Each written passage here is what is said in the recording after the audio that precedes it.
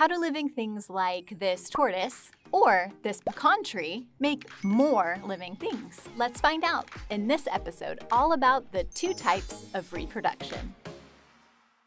Reproduction is the process of making new organisms. This happens when parent organisms reproduce to form new offspring. When organisms reproduce, they pass their genetic information to their offspring. This genetic information includes genes, which are pieces of hereditary material that affect an organism's inherited traits. How these genes combine and arrange form the blueprint for how the offspring will grow and develop.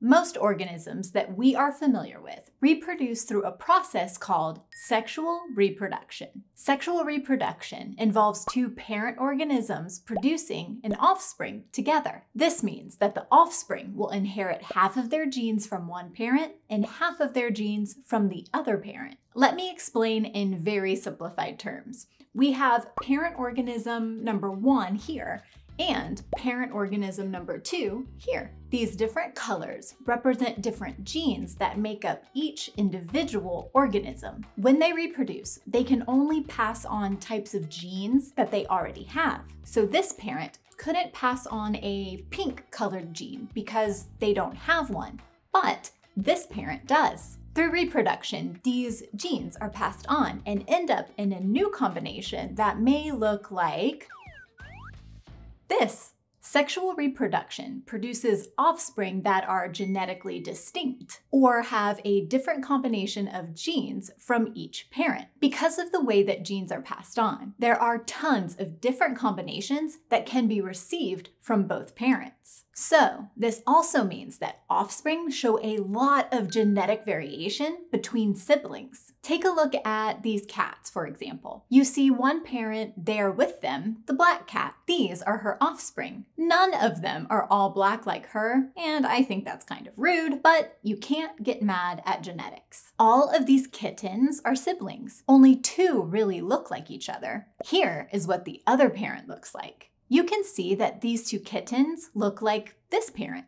Genetic variation goes way deeper than the appearance of an animal's fur. It is what makes sexually reproduced organisms genetically distinct from each other and gives the building blocks to who they are.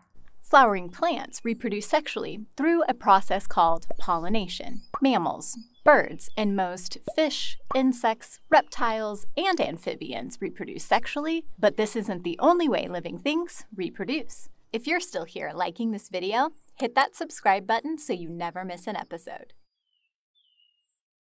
Some organisms reproduce asexually. The prefix a means without. So asexual reproduction is reproduction without this genetic recombination. During asexual reproduction, a single parent produces offspring. The offspring have the same genes and therefore the same inherited traits as the parent. This means that asexual reproduction produces offspring that are genetically identical to the parent. Or in other words, they have the same collection of genes like this. Remember before, we had two parent organisms contributing to the genes of an offspring. In asexual reproduction, there's only one parent. So we only have this one combination of genes to pass on to an offspring. You need all of this genetic information to function. So these are the genes that the offspring gets. So they look like this. Same genes, same combination, identical to the parent, kind of like a copy machine. Oh.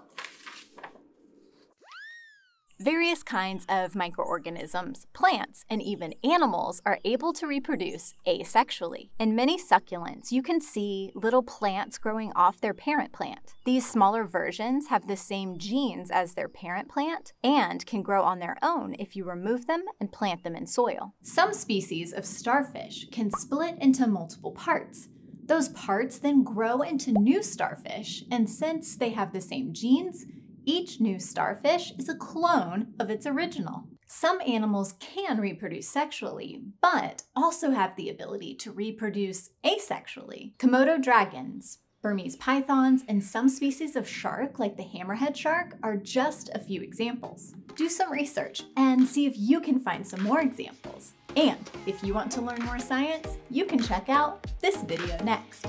Oh yeah? You hear them? They're so upset. I hear you, squirrel.